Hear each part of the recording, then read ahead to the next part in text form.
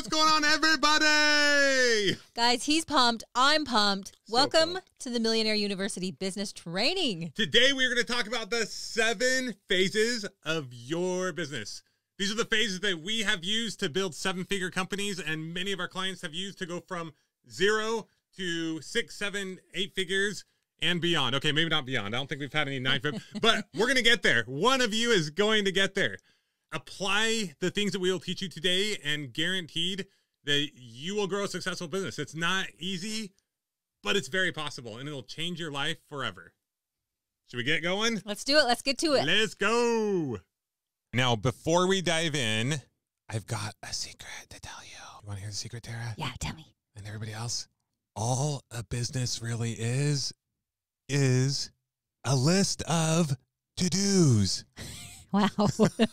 Profound. That's the whole point. It's so not profound and so basic and so simple that someone might miss it. That's all a business is. It's a list of to dos. And once you execute on this list of to dos, you have money, money, money, money, money. now, once again, just to reiterate, not saying this is easy. In fact, it'll be the hardest thing you'll ever do. Not because it takes more effort than anything else, like going to school or working for someone else, but it's because we're dealing with us. And a brain can sometimes be a little funny. Can be your friend or it can be your enemy. Exactly. Now, here's the catch. Oh, there's a catch. I knew there was a catch. There's always a catch. No one can come up with this to do list for you. what? That would be way too easy. That would be cheating. but the good news is that wouldn't be nearly as fun either. It Or fulfilling. It wouldn't be fulfilling. It wouldn't be exciting. There would be no point to it. Okay, you make a lot of money. But, say I can see some points Well, to it. Okay. One of our primary objectives here is always empowerment. Tara and I could start, scale, and automate a successful business in any industry from anywhere in the world. Our goal is to get you inside of our brain and empower you so you can do the same thing. Once you understand a few concepts, you'll be able to think like a business freak as well. Remember, your to do list is always going to be changing and adapting but you've got to start somewhere. So, in order to help you come up with your to do list, we're going to go through the seven phases of a business so you can identify where you currently are and where you need to go next. We'll also give you an idea of how long each one of these phases should take so you can stay on track. You ready, baby cakes? Yep. This is the process we have used time and time again to create seven figure businesses.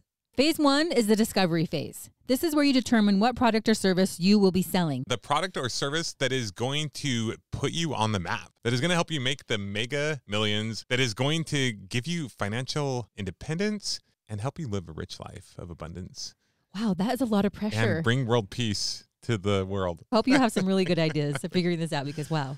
So basically, we came up with six different ways to come up with your big idea. You only need one, but we gave you six, so you're welcome. We're very kind.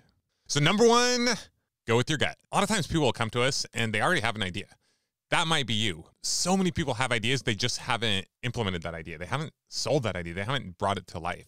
So, if you already have a big idea, don't overanalyze this. Go with the thing that you want to do. And once again, a lot of times people get worked up and they think, oh, I need to do all this product research. And at Millionaire University, one of the things we teach is you don't need to take a ton of time figuring out what it is that you want to do. Now, if you're going to start this huge startup and raise $100 million and come up with a 200 page business plan, then yes, you're going to need to do more product research ahead of time. But for us, what we like to do is we like to figure out the thing that we're going to do. We like to start selling that thing right away. And that is your product research. Also, if you pick something that someone else is already doing something similar to, Great. that's your product research because it's working. yeah, it's already working. There, there's your product research. They're selling it. It's working for them. And the truth is, to us, it's usually more of a marketing and sales message. I can't tell you how many businesses that we've started or tried to start, and at the beginning it was off. And we easily could have been like, "Oh, the market research didn't work," or "No one wants this thing because they're not buying it."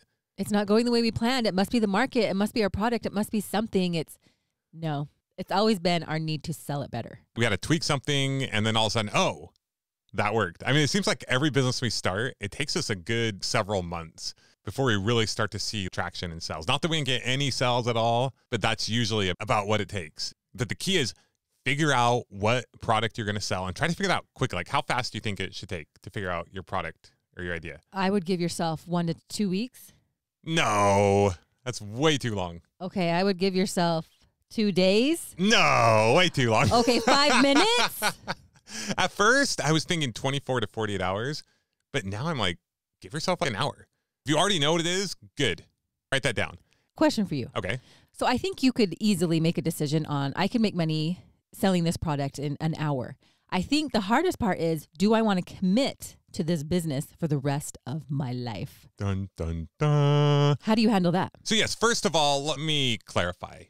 Come up with the thing that you want to do. You might know it right now, or you might take the next hour or two going through some of the steps that we're going to talk to you about, and then come up with that thing, write it down, plan on doing that thing. But if you sleep on it and you think of something else, that's fine. That's the whole point of this. Is unlike school, you have to decide what you want to do when you're like eight years old. Okay, not really, but you have to decide what you want to do, and then you go and study that thing for many years. And then what happens if you change your mind? All this time and money wasted, and you feel like a failure, really. Totally. Or you have the golden handcuffs and you hate what you do.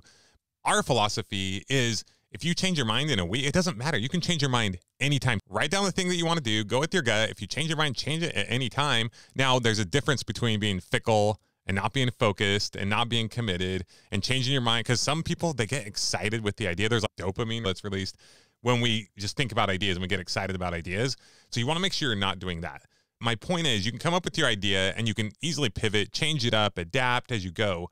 That's why I say give yourself less time. Because if you take a week or two or three or a month or a few months to come up with your idea, you're really just stalling. There's a fine line between squirrel moments where you're doing your business and you get into it and you go, oh, this is hard. I should try something else. Usually that's a squirrel moment. You're just afraid of doing the hard work. Every business is challenging, every business has its obstacles. But there's also a fine line between pivoting because there's a better situation, a better option, a different thing that you want to sell in a different way. And so the goal is to take action quickly so you can start to learn the difference between squirrel moments and intentional, intelligent pivot. Yes. Okay, so once again, the first one is go with your gut, aka you probably already have an idea. You probably already have something that you're passionate about, that you're thinking about, an idea that you've had in the past. But go with your gut. If you have an idea, write it down, get to work, and you need to start selling the heck the HE double hockey sticks because hockey sticks are Hey, important in business. that is you want the hockey stick effect. I like that. so start selling the hockey sticks out of that thing. Let's go. Okay, number two. If your gut is not telling you what to do, you're going to have to get a little more creative, which is simply write a bunch of things down on a piece of paper that you're interested in. What are your strengths? What are the experiences that you've had? What are the things that you've studied? Your past or current job, sports you played, things you've collected. What are you into? Boom. So, like Tara said, take a piece of paper and on one side, write all the things that you're good at, that you have experience in. And the other side, write all the things that you are interested in. And then what things on your list match up. So, if there's something that you are good at and you're interested in, then that's where I would go. Because one of the keys to being successful in your business is to remove as much friction points as you possibly can. So, if you're already familiar with something, that's going to save you so much time. And if you're passionate about something, it goes without saying, you're going to be a lot more excited. Take us, for example. What is one of the things I enjoy more than anything? You love Well, to teach, you love to talk about business, you love business. Yeah. I love talking about business. So if we were doing a podcast on fixing house items, On fixing things around the house, that podcast would be really boring because you wouldn't have much to say about it because mostly that's my job. oh, well, it'd be really boring, but I wouldn't be compelled to do it. So, once again, this doesn't have to be overly complicated. And then once you've narrowed it down to anywhere from one to three topics, then just start searching. I mean, don't take for granted what we have. You can look up any topic and find out so much information about it. So once you come with that topic, do a search in Google, look on YouTube, look up different podcasts, look at different people who have businesses that are similar to that topic. So, for example, something I've really struggled with is my mental health. That doesn't sound good. That doesn't sound right, does it? But it, it doesn't feel right. I'll tell you what. So, I've had to learn all kinds of things about mental health, mindset, anxiety, depression, panic attacks, all these things I've struggled with. And I really fell in love with that space. And so, I've done some coaching around that. It wasn't something I was necessarily interested in or wanted to have to go into, but I did. Fell in love with it, and I've done some work in that space. And so sometimes it can even come from your weakness, not necessarily your strength. And how cool is that? I mean, that was a hard time, but you took that weakness and you turned it into a strength. That's super cool. That actually leads us into number three. Pick a skill or a topic and spend a lot of time studying and becoming familiar with that topic, and then you can teach that thing to other people. So for Tara, she learned a lot about depression and panic attacks And anxiety and and, anxiety. all those fun things. As she learned about those things, she was able to overcome those things, and then naturally she was able to teach people about those things. I think after this year, you and I could be marriage counselors. I think so. as well. We, We've done a lot that's of been an area of weakness we really had to learn a lot about. right? and now there are days where I think we need therapy, and there are days when I think we could give therapy. What's So, today? I think we're doing pretty good today. the That's the great days. thing about having a business is it forces you to change into the person you really want to become because you're very highly motivated. It's something you want to do. You're providing for your family. And so it really forces you to be the person you really want to be. And I have changed so much through having a business. It's one of the intangible things people don't really talk about, but it is true. To continue with number three, pick a topic or skill and spend some time becoming really good at that. Who are some people, Tara, that you know of who have done this? Oh, I'm thinking about your sister with Janela Bay. She really loved sewing and making swimsuits. And so she started to create these swimsuits, and they have a full blown, a very successful online business selling modest swimsuits. It's incredible. With Online just a small interest she was into. And brick and mortar. I mean, they have Yeah, that's right. seven or eight physical locations as well. Yeah, they've absolutely killed it. That's a that's a great example. Another one is a book I recently read by a guy named James Clear. He recently wrote a book called Atomic Habits. Many of you have probably heard of it or read it, but he twice a week started blogging about habits. That's what he His blogged whole about. career is built on teaching people about habits. So he learned a ton about habits, started blogging on it, and then he's been able to write a book and create a very successful business around the topic of habit. Who else? I mean, we're all familiar with Brene Brown. She spends her whole career talking about vulnerability, researching vulnerability. I mean, it's incredible. You got Russell Brunson, he's the funnel guy, John Lee Dumas, podcasting. Another thing I would recommend if someone doesn't know what business they want to start and they like marketing, I would recommend they pick a marketing niche and get really good at that. And then they use that as their business. So in this instance, you pick the thing and you actually, this time, you would have to study it a little bit more. But if you study, for example, what's a marketing niche that someone could study and become an expert in? I mean, maybe you could become a website builder. You're not totally sure what you want to commit to as a career or something for the next few years or however long you do want to do it. You pick a skill instead. I'm going to build websites. I'm going to market that skill, become really good at that as I'm trying to decide what business I really want to take on the long term. Now, the cool thing is to build a website, like Tara has built several websites. These days, you don't have to know how to code, right? Like, No. because some people who build websites, that's what they do. So, some people out there who know how to code, like, oh, that takes a long time to learn how to code, but you don't have to. Another thing is a YouTube ads expert. If someone were to study YouTube ads, for a week, if you took 40 hours or maybe two weeks and took 80 hours of studying YouTube ads, you would know more about YouTube ads than like 99.9% of the world. And then what you could do is you could go to anyone, like even myself, and you could say, Hey, can I try this out? And maybe you offer to work for them for free for a couple weeks to see if you can get a result. And then those people will pay you. And then once you get paid by one person, you can work for multiple people and you can literally start your own agency that could be up and running within a month or two. Or you could take those skills and you could apply it to your own business. You could take any kind of physical product or any kind of educational product or any software and you can sell it based on these marketing skills that you've learned. Or maybe you decide to take another two weeks and learn another marketing niche and you continue to grow that way. Yeah, you can stack your skills if you learn how to build websites or do paid advertising or whatever it is. These skills that you're learning, they're not a waste of time. They're very valuable skills. And then you can stack those skills and apply them in your own business. So it's a smart tactic if you're not totally sure what business you want to dive into. Okay, number four. What is a tool or service or product that you really like, but you think it could be better? So, for example, if there's a software that you use on a regular basis, but maybe you feel like there could be some improvements. The other day, I was talking to my brother, who's a partner in the Janela Bay business that we were talking about. They use Shopify every day in their business. And while he likes some things about it, there's some things he really wishes that it had, or some things that it could do better. And so he was trying to convince us to create a new Shopify with some of the new and improved features that he feels like it needs. Now, we don't currently have time for that, but maybe one of you can run with it. And he'll be your first customer. Just reach out to me if you need his number. Trey, who's a software developer and one of our current partners in our software company that does review automation, the other day he mentioned that there are some improvements he'd like to make to Slack. And I don't know if you guys know, but Slack recently sold for a whopping 27.7 billion with a B dollars to Salesforce. Wow. So if Trey thinks there could be some improvements made, Cha-ching. And the cool thing is you don't have to create a company that's worth $27.7 billion. You just have to get enough people to sign up or enough people to buy your product that help support your lifestyle. I know we talked about Janela Bay a couple times, but my sister, she saw a problem with swimsuits. She couldn't find any modest swimsuits that she felt were also cute and fashionable. So she decided to start making them, and now her and her husband have a multi million dollar business selling modest swimsuits, changing the world one modest swimsuit at a time. Speaking of swimsuits, I mean, you think about it, one of the most basic things cookies. Cookies and swimsuits go together really well. they do. They took cookies, modified them, made them extra delicious and deliverable, and that company Crumbl is killing it. They are killing it. And then other companies saw what Crumbl was doing and they probably thought, hey, I can make this better. hmm Or maybe not quite as good, but still make some money from it. Or you can be in a certain industry. So, for example, when I met Justin, he was selling satellite dish network door to door. He didn't necessarily change your product, but he decided he wanted to own his own business. And that's the first business that we started together. And so we thought we could sell this better. We could do this better. And we started a business on our own. Take Millionaire University. How did Millionaire University start? We saw a problem, we had a need, and we decided to do something about it to improve upon the current education system that is out there. I realized I was complaining about the college education system a lot. So then we started looking into options online, and there's a lot of people out there that are selling a lot of things, but none of them really fit what we were looking for. The online world can be really daunting, and no one is really taking you down this path. And we also have kids who will be graduating from high school soon. And we're asking ourselves, do we send them to college to waste their time and money? Or do we send them to the online world where it's really daunting and they'll just get overwhelmed and not know what to do?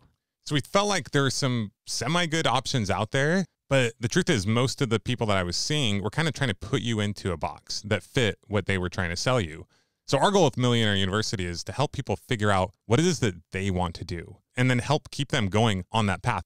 So, once again, think of a product, a service, something that you use, a tool, anything that you feel like could be improved upon. And that could be your big idea. All right, numero cinco. Number five is okay, I don't know what I want to do. I'm not sure where to start. I'm not totally sure what I'm interested in. Then, guys, just Google it. I remember when we had one of our businesses pretty streamlined. Justin had some free time on his hands. He'd been surfing and he realized he was bored out of his mind, even though he thought that was his dream. And he wanted to learn about online marketing. And one day he figured out that there are these things called a podcast. So we started listening to all of these podcasts, and I cannot tell you how excited he was. He would come out of the office like, Tara, there are people online telling you exactly what they're doing in their businesses. And he just was listening to podcast after podcast after podcast. You can get so many ideas. He was obsessed. So literally go to Google, Google what are some different business ideas out there. Now be careful, you might come across some shisty people trying to sell you a get rich quick thing or something like that. There's a lot of great information out there. The online world is not what it used to be many, many years ago. You can read blogs, check out YouTube, check out podcasts. There's amazing information about different opportunities that are available now. And just listen to what different people are doing in their business and write 20 to 50 different things that different people are doing and see if something stands out to you. Okay, last but not least is number six. Ask people that you know, maybe someone in your family, someone in your community. Ask them about a business that they already have or are doing well in or they have been successful in. Be careful with this because sometimes people's opinions can be strong and they can be off. But it can be an amazing thing to ask someone who is in an industry that you're interested in what's it like? How did you get there? What are you doing that's working well? What's the lifestyle? So let's go ahead and do a quick recap, shall we? Number one, just go with your gut. Number two, on a piece of paper, write down your strengths and things that you're interested in. See what overlaps, see where you want to go, and see what's already pulling you. Number three, pick a skill or a topic that you think you could be interested in. Really dive into it, study it as much as you can for a week or two. And then, an instance of if it's like a marketing skill, you can do that marketing for someone else and then build out from there, or you can do it for your own product or service. Number four, figure out a tool, service, or product that you can improve and make better. Number five, ask Google. And number six, pick the brain of other successful people who have businesses that you are interested in. So, I think the biggest point we want to make here is you do not need this crazy new original idea. In fact, it's probably a lot better if you don't.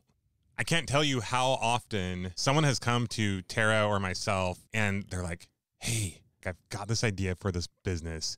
It's almost like they won't even tell us what it is because they're nervous that someone's going to find out. Anytime I hear this, I'm very concerned because if you don't tell anyone about your business, no one's ever going to be able to buy it from you. That's the whole point of marketing and sales. If it really is this crazy original idea, then I'm like, ah, that's going to be difficult. That's going to be a hard uphill battle good luck with that because I just like to copy people. I know Tara says it's illegal, but I don't think it is. So It I think is. You do it the wrong way. You don't copy, you just do research. And anyway, okay. But the bottom line is there's millions of people out there making tons of money. You can just see a combination of a bunch of different things that a lot of people are doing and try a different variation, put in your message, your product, your voice, what works for you, and go, go do it. You're going to start researching other people's companies and you're going to have your own, in a way, original ideas because they're the way you see the world and you're the only one who sees it that way. So you're the one who can teach from that way or sell from that way. Mm, preach. Another thing is if you come up with this big, huge, crazy idea, or you're going to have this big, huge product development, you're risking a lot more capital up front. Anyway, I'm getting a little ahead of myself, but we'll talk more about this kind of stuff as we go on. And if you do have a big idea and you do want to risk capital, go right ahead. We're just saying you just don't have to. Totally. It depends on your situation. If you started lots of businesses before, if you've got a million bucks sitting in the bank or investors that are just ready to go and you have a lot of business background, you've done startup, awesome. I feel like a lot of people don't get into business because they look at it as this big scary thing that they don't know what to do or they have to come up with this crazy original idea, invest millions of dollars in their entire life savings, but that's just not the case. It doesn't have to and in many cases shouldn't be that way. All right, phase two the learning and the research phase. I love this phase. It's like you're an FBI agent and you're going to go to your competitors or other people in your industry and you're going to check out what they're doing. This is where you learn all you can about your product, your industry, or the skill that you're trying to develop and market. This phase should take about one to two weeks. You're going to be searching all about the product, category, skill, whatever it is that you need to learn about what it is that you're going to be selling. So you're pretty sure that you know that you want to sell dog toys. You'd want to begin your search by searching dog toys. Wow, you're smart. I know, I'm so smart. And you'll see all these companies that are selling dog toys. How are they doing it? What ads are they running? What is their website like? What other things are they selling on their website? Check out websites, blogs, videos, podcasts, but don't get too distracted by all those cute dog videos. Did you know there are actually tools that allow you to spy on your competition? Ooh. We sometimes use this tool called Semrush. You'll see examples of different ads that people are running and the different ways that they are marketing in your industry. It's pretty cool. So maybe check out between five to 10 companies. With a few of them, you'll probably want to go deep into and really check out what they're doing. And then the rest, just kind of see what's going on a little more surface level. Now, this is something you're going to be doing ongoing, but this is just to get you started. You'll also want to see if there is anyone teaching how to sell in your industry or niche.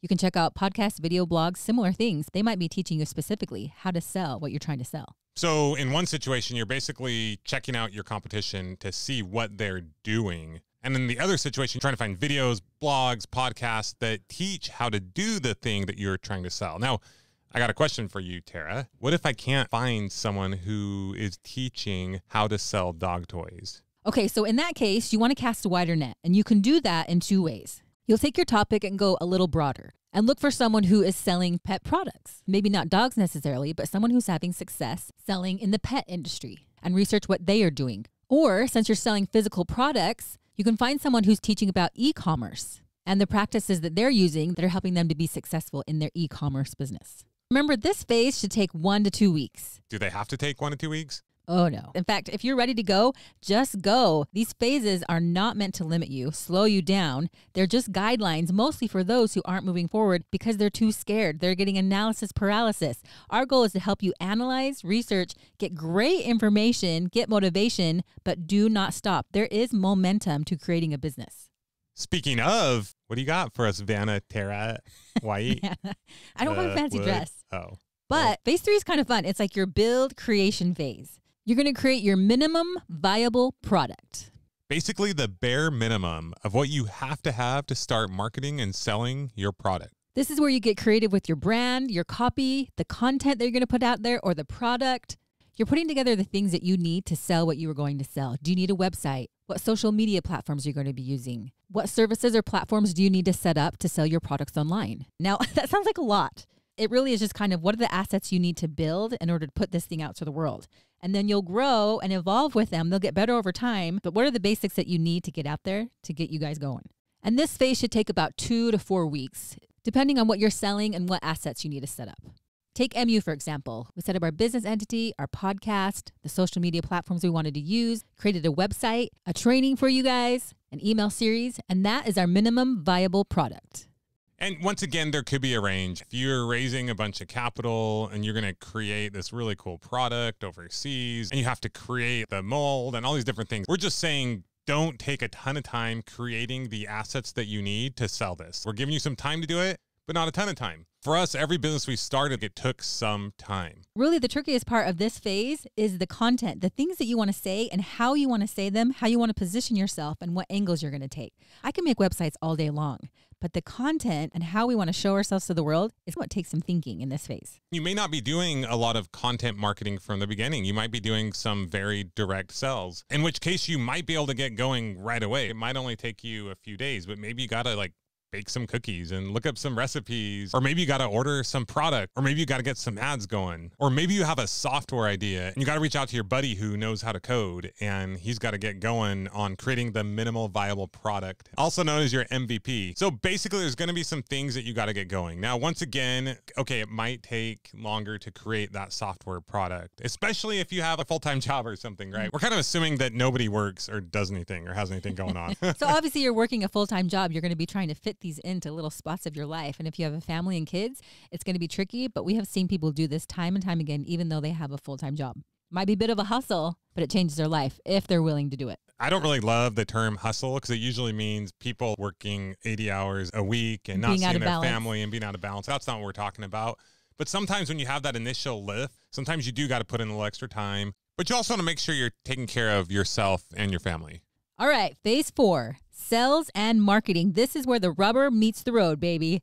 This is everything. And this is what will separate those who are successful from everyone else. That is the lifeblood of your business. And it's probably the hardest part. It's the thing that people hear the most. That is where most businesses go to die before they even get started. Oh, It's so sad.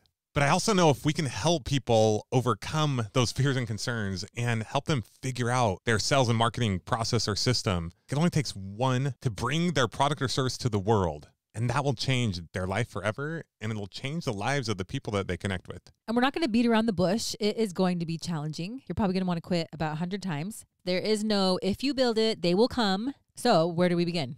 Okay, there are four different things that you want to consider when coming up with your marketing and sales strategy. So, what we have for you today is we have the four P's of marketing and sales. PP, PP. Okay, so first thing you want to consider is your personality. If you like talking like me, then maybe you'll do some direct sales. Maybe you'll hop on the phone and call a bunch of people. Maybe you'll do a podcast. If you like the limelight, maybe you'll do a video. If you're a little more introvert, what do introverts do, Tara? I'll tell you what introverts do because that's more my area of expertise. Introverts are powerful personalities in the business space, but we might do things a little bit differently. So, for example, I'm on a podcast. Was that easy to do? No, that was slightly torturous, the very first one that I ever did. Mm, And I still, remember. sometimes I'm like, ah. But Well, you like things a little more written out. I'm like, let's go, let's do this. And you're like, wait, wait, what are we going to talk about? yes, so even the way you go about doing it will be different as well. Exactly. So I like a little more structure. I like to plan things out. I like to finish things that are started. Justin's more here and there and all around, but he has awesome Here and ideas. everywhere, and she loves it. He has a lot of ideas. He'll talk to anybody. He can bring the high energy where I'm more watching, thinking, being analytical. I would much rather be on a podcast than at a party trying to do sales or networking or hopping on a phone and saying, Hey, you want to buy my thing? But I do enjoy selling on a podcast.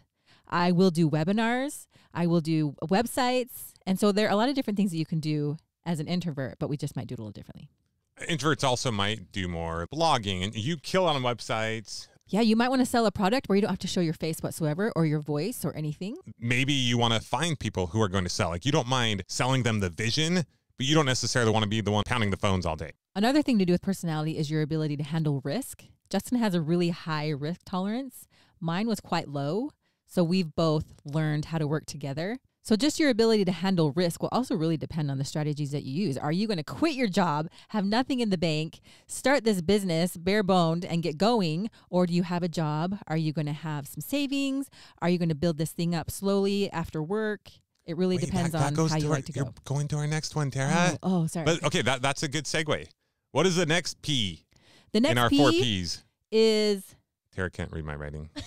I can't read your Don't you have these memorized? Come on. The second one is your personal situation. Are you working a job? Are you married? Are you single? Do you have income coming in? Do you Do have any monies. Oh, you have no monies. Do you have capital? No capital. How much time have you got? So, how might someone's personal situation affect how they go about doing their sales and marketing? Well, darling. Oh. So, if someone has a lot of time, but they don't have a lot of money, they're more likely to do what we refer to as brute force marketing. In our first business, that's pretty much all we did. Yeah, we were in debt. We were in a pinch. You were out knocking doors while I was home with our new baby. We didn't have a lot of money. We had negative money. We had time. That's all we, had had. time. I didn't have a job. That's what we were doing. And it worked amazingly. I mean, we got ourselves out of a hole pretty quickly because you were willing to knock the doors and I was willing to do everything else in between. Back was against the wall. I Uh-huh. was willing and I was able to do that. My personality fit that profile enough to where I could do it. Another example of this is a guy I met the other day when I was playing pickleball, Bill, that started The perfect bar. Perfect Bar.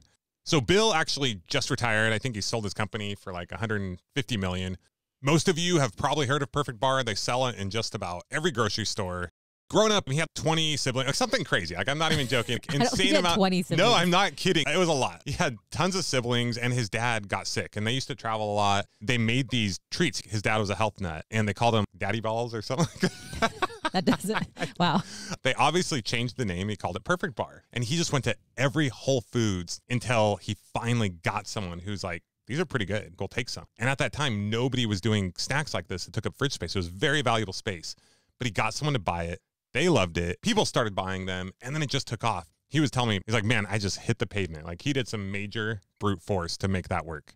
So once again, brute force marketing, basically, you don't have any money. You're going to do whatever it takes. Make a list of people, start emailing people, start calling people, reaching out to all your connections just every day. Just start hitting it hard. And if you can do this, you'll succeed at anything. If you can go brute force route, you really can do anything because I would say it's the most challenging. But man, anybody out there who can do brute force, props to you. Anyone out there who's in a sales job right now, props to you. Anytime someone tells me, especially a young person, I'm working in sales right now, I'm always like, oh, that is the best. I wish I would have done that. If you can sell, you can really do anything. You really can. And once again, that's not something you have to do forever, but it's a great way to get going. And just like the perfect bar guy, he was more of the brute force personality, but his siblings helped him and they were able to do some of the other things that he needed in the areas that he lacked. Now, let's say you have a job, you have a little more money, but you don't have a lot of time. In this case, you may not be as heavily focused on putting a lot of time into brute force marketing yourself personally, but maybe you hire someone to do that for you. Or you create a video or webinar that sells your product or service for you. And you more heavily focus on paid advertising, such as Facebook ads or pay per click. So, what if you don't have time or money, or you want to be a little more frugal with your money? In that case, you can hire salespeople that work for commission only, or you can partner with someone who can do the sales or is really good at marketing and is ready to implement. Maybe you're the visionary, you're the idea guy, and they're more of the implementer. And you guys can figure out a structure that makes sense for you. Another situational thing that you might want to consider is do you have or need an office? I'm currently working with a couple who has always wanted to have a restaurant. And we spent quite a while looking for that perfect location for them. But between doing a lease and a build out and all the expenses that it would entail, it was just more than their budget could afford and a little more risk than they wanted to take at the early beginning. Now, I surprised Tara and I had these guys cater at her 40th birthday party. It was so good. So rather than go the restaurant route at the beginning and have all the high cost and overhead, I told them I should start a catering company. So that's what we've been working on. And they're just getting going. They've already had a few gigs, but without all the overhead, all the money they make, aside from the cost of the food, will basically be pure profit. This week, we'll be getting them set up with our review automation software, Five Oak. Help them get a quick 30 to 40 reviews from all the people we know who have eaten their food and loved it. And soon Google search and word of mouth will take off and they'll be off to the races with little to no risk at all. So, once again, as you're coming up with your marketing and sales plan, do what works for you and your situation. You don't have to be like anyone else. And that's part of what makes business so awesome. There's a million ways to make a million dollars, and being you is the best thing you can do. All right, a little cheesy, I know, but it's true. The third P is product. What platform or sales strategy is ideal for your product? If I am doing an e commerce business where I'm selling a physical product, one that's visual, it might be a great idea to grow an Instagram or Pinterest following. If I'm going to be doing a coaching or education business, a podcast might be a great place to start. Where are people hanging out that are interested in what you have to offer? Is it a forum? Is it a Facebook group? We know a guy who started a company called DealerSocket that sold software to car dealerships. So his company was constantly going to trade shows and hanging out at places where people who own and work for car dealerships were going. Our son Brogan is really into dragon fruit. So he has an Instagram following where he can talk about and sell dragon fruit cuttings. But it would be really cool if he started a YouTube channel where he could educate people all on dragon fruit while selling the cuttings as well. The possibilities are endless here, guys.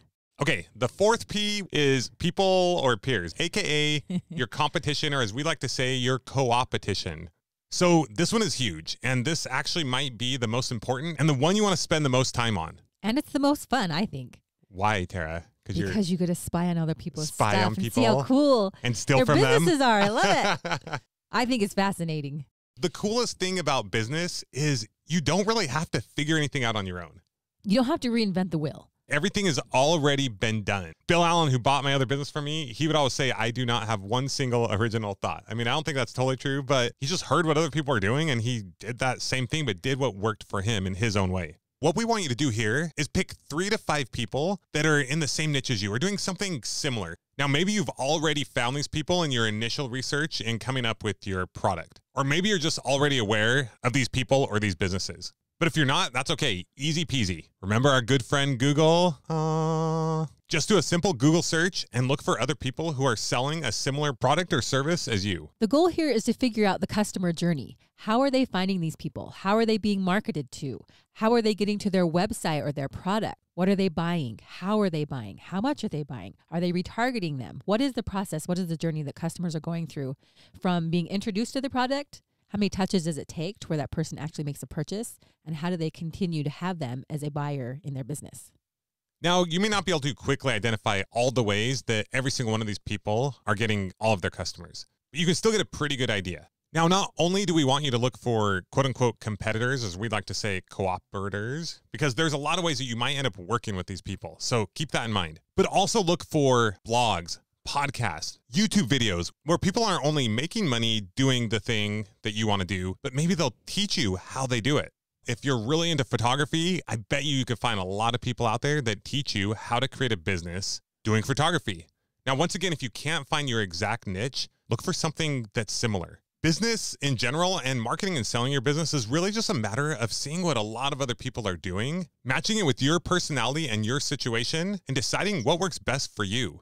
I don't want to call it a Frankenstein because that sounds kind of like "Rah," not well put together. A little janky. But you can really take bits and pieces of what other people are doing, think about the things that you want to do, and put those together. Come up with your message, come up with your unique selling proposition, as they say, but just go. And those things will come together over time.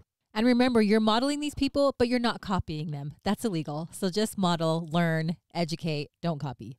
Well, I don't know if it's like illegal, illegal, but it could be illegal. In a lot of instances, it can Yeah. be if it's perfectly exactly like they did it. But the truth is, if you take bits and pieces from everyone, no one is really coming up with anything 100% original, right? I mean, it's original because it's from you and you are special, right? yes, you are very. we're all original, right? So the way we're going to do something is going to be very similar. But the truth is, you could look at what something that someone's doing in a certain way and you kind of like that. But yes, Tara's right. Don't take someone's exact marketing message or their exact website and copy that exactly. But if you take ideas from a bunch of different people and then you make it your own, boom, bada bing, bada boom, and you're going to enjoy your business a lot more that way anyway. All right, so let's do a recap of the four recap. P's. Number one, personality. What are you into? What do you like? What are you naturally drawn to? These are important things to know and understand because they will lessen the friction points of you moving forward in your business, which is important. Fiction, no fiction. What, are you on protest day? What's going on? Number two, what is your personal situation? You got some money, you got time. What do you got? You don't got nothing. Good luck. Wow. Figure out what you do have. Everybody has assets. How are you going to use them? Yes, they do. Number three, what is your product or service and where are people selling it?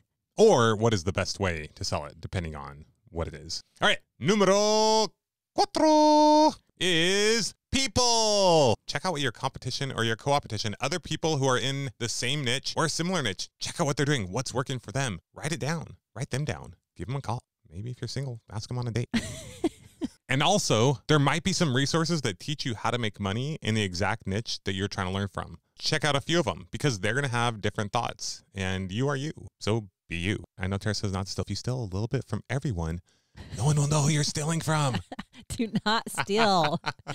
Now that we've gone over a few things to consider when selling your product, we're going to take a look at the seven main ways that most businesses sell their product or service. Not to be confused with the seven phases of your business, which is the title of this course.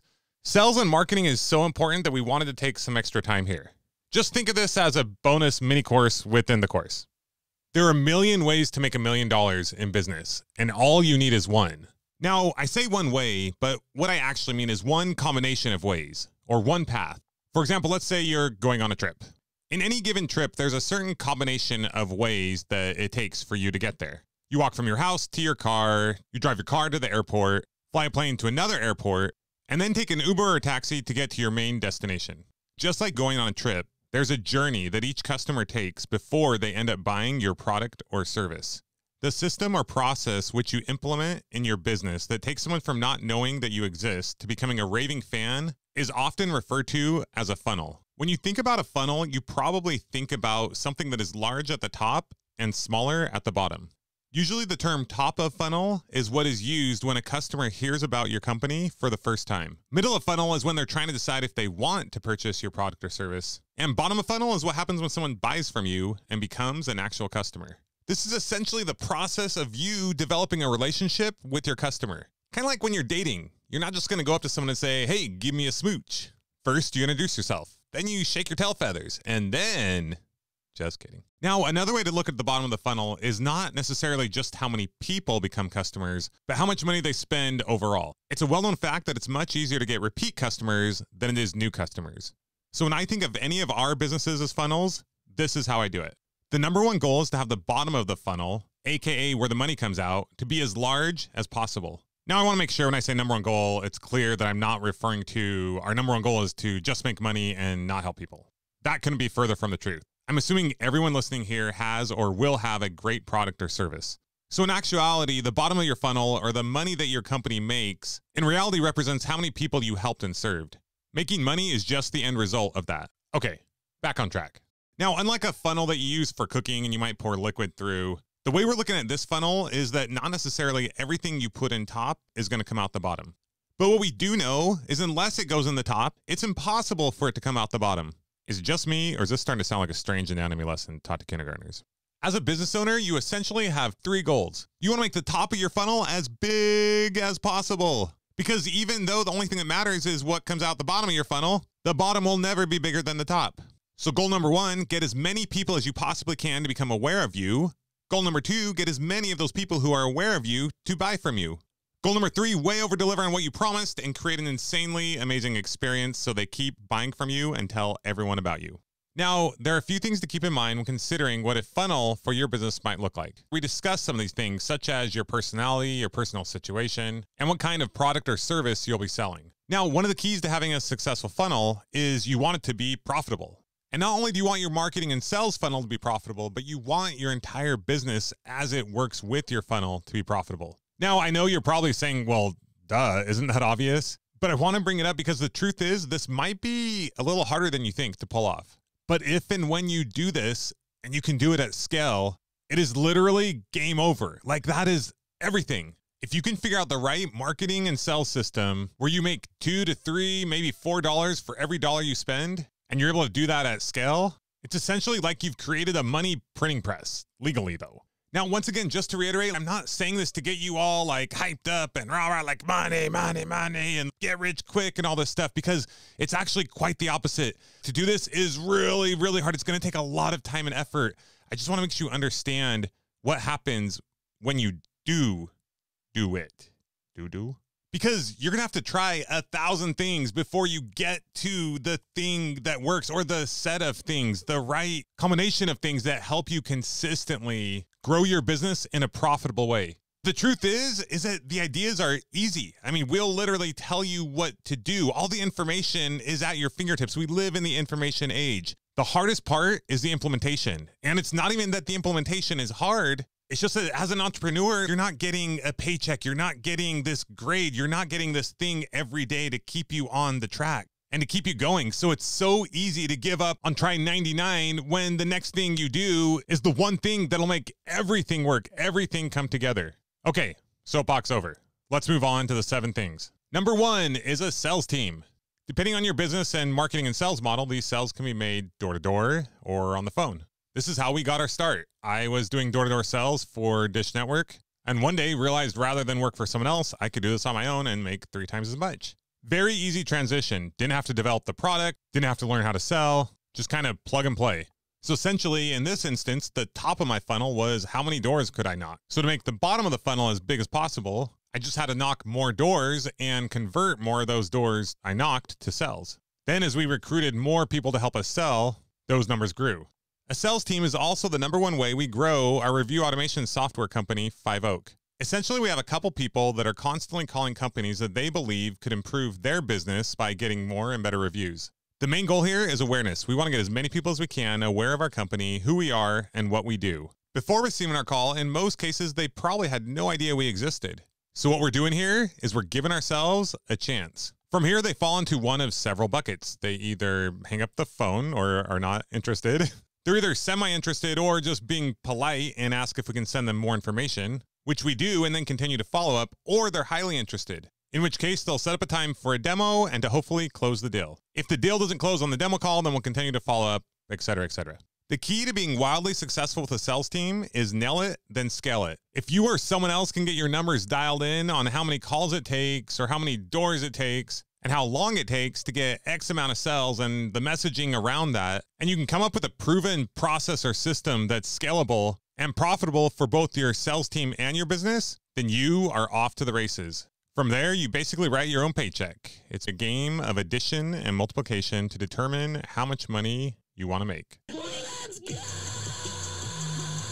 Okay, you might need to develop some management and leadership skills somewhere in there as well, but you know, details. We'll get there. We'll get there.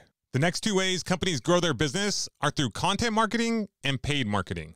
Content marketing is essentially what its name says it is. Things such as podcasts, blogs, YouTube channels, even TV and radio are all different forms of content marketing. The idea is to create a huge amount of value up front for any given audience. Once you have that attentive audience, you can either sell them products or services that fit their needs, or you can get other advertisers to pay you for commercials or advertising space. Now, paid advertising is essentially the opposite. Rather than create valuable content for an audience, you're paying someone else to advertise to the audience that they've created. Some forms of this are things such as Google AdWords or pay per click, social media ads such as Facebook, Instagram, YouTube, and LinkedIn. Other forms of paid advertising might be things such as direct mail, radio, billboards, or other signage, newspaper, if those still exist. You might pay someone to put up or hand out flyers for you. And the list goes on and on and on. The next one is relationship or influencer marketing also known as JV or joint venture marketing. This is essentially where you work with someone else who already has an audience that may be interested in your product or service. But rather than just pay them money up front, which essentially would be paid marketing and is also often done, you agree to some kind of profit share based on how that specific venture or offer goes. Working with other business owners or influencers is not just a great way to sell your product or service, but also a great way to build your general audience, which over time will turn into more customers and sales. The next two ways businesses sell their product or service is through physical storefront location or online partnership platforms. By storefront, I'm referring to actual physical brick and mortar locations. These are your restaurants or physical stores that sell retail products. Most medical type and many other businesses also fall into this category. We're talking about any business located on a street that has literal physical traffic driving by, or any place with foot traffic, such as a mall. When we talk about online platforms, we're talking about places like Amazon, Etsy, or even Upwork. These could also include things like online forums and Facebook groups. When we moved, we used sites like TaskRabbit to hire cleaners, movers, electricians, and plumbers to help us get our house ready. The final way that successful companies grow their business is word of mouth marketing, which is essentially the result of what happens when your product or service is, well, awesome. When you deliver and over deliver on the promise you made your client and customer when selling them your product or service, the natural result will be they'll tell other people about it. And that's when business gets really fun. I want to give some real life examples on how I've seen some of these strategies used together to create massive success in different kinds of businesses. Listen carefully while I share these and try to think of different ways that you can use these strategies to help you grow your business. When we created House Flipping HQ, our real estate investing education business, our main form of marketing was content marketing. We created value by creating a podcast where we shared our experience flipping houses and brought on other experts who shared their knowledge. We invited everyone on our podcast to go to our website or a landing page to join our weekly newsletter or get a free gift in exchange for their email. For several months, we gave a great deal of value through the podcast and our emails. So when we opened up the doors to our first online program, House Flipping Formula,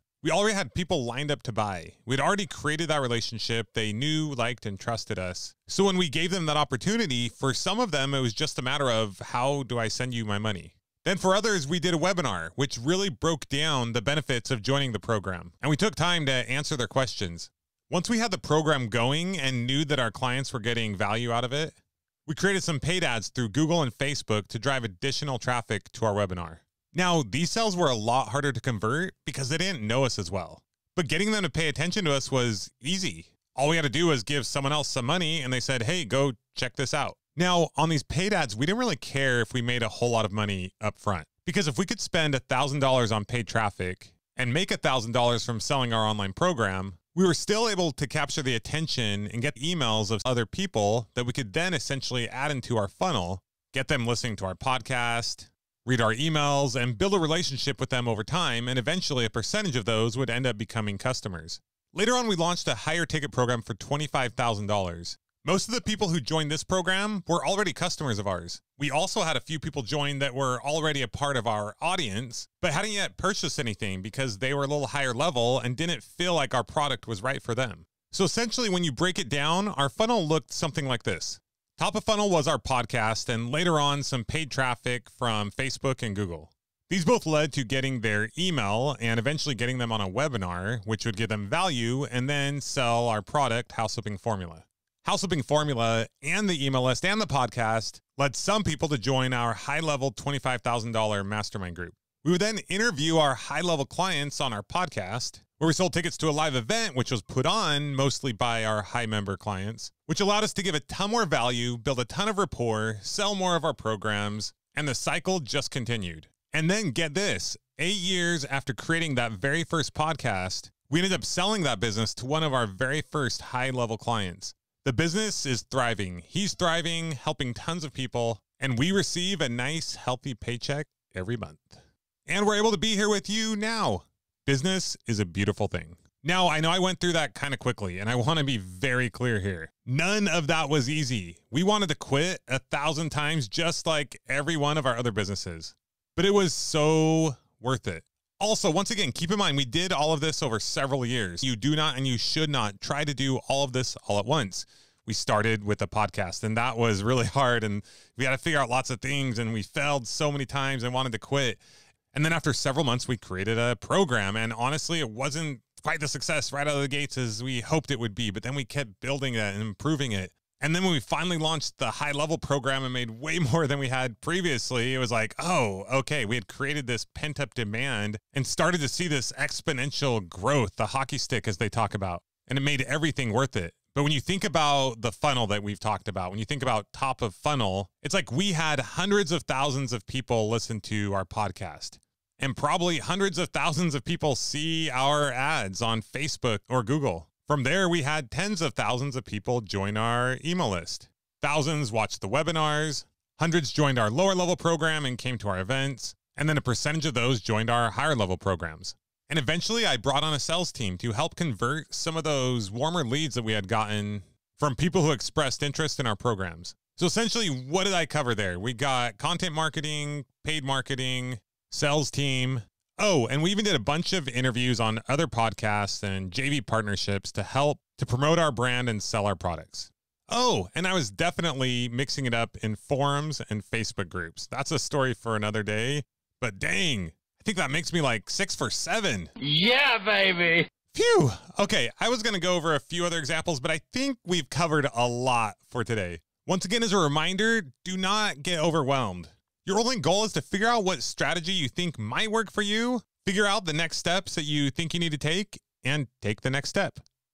And then take the next step. And then adjust and pivot as you go. And be sure not to grade yourself just by the end result. Reward yourself for any actions you take, regardless of the outcome. That's going to release dopamine in your brain, which is going to make you feel energized and excited and fulfilled and like you've accomplished something, which you have. And that's what will help you keep going. And if you keep going, eventually you will reach your dreams. Sales and marketing is ongoing. So there's not like a time limit we're going to give you. But what I would say is give yourself what we call a 30 day push. What do we mean by this? Essentially, this is how you're going to really get some traction in your business. Depending on what you're selling, I would write down every single person that you know of or every business that you can find, anyone who may possibly want your product or service. I would write their names down. I would get contact information for them. I would start calling. I would knock doors. I would email. I would text. I would do whatever it takes. I would reach out to people you know who might know someone who might be interested. You're going to do whatever it takes. You're going to get a ton of rejection. You're going to be okay with that rejection. Mm-hmm. You're just going to make it happen. Let's say you're going to do a car detailing business or a trash can washing business or a power washing business. Literally just go knock on a couple hundred doors a day Take some flyers with you, pass them out, talk to everyone you know. Get people to put you in text groups and send you out to their friends. Within that 30 days, you literally might have enough clients to be financially free. And then you get referrals off of those people. Just hit it super hard. Now, I'm not saying after the 30 days to stop. We like to think in short waves, right? Mm-hmm. But by then, you're going to have some momentum. You're going to have some traction, and it's going to feel easy. You're going to be making money. You're going to get over some hesitancy, so you'll feel a little more confident. You'll see things working. You'll get traction. That momentum will continue to build. And it'll be a beautiful, beautiful thing. There are also many, many services that you can use to help you with this. There are so many lists of every single industry you can think of where you can just call people, go to the business if you're selling business to business, if you're selling a home service, the houses are everywhere, right? Just go. if you're selling online, you'd focus more on ads or podcasting or YouTubing or webinars or SEO. In our software business, we use a service called ZoomInfo to find out about local businesses that might be interested in our service.